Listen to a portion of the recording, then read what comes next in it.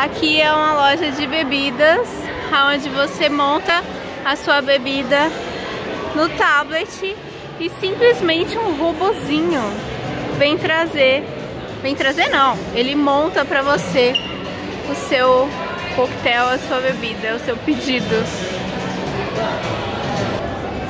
Olha os robozinhos funcionando lá em cima.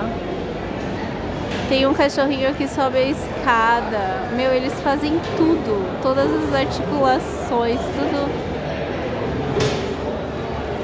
É incrível.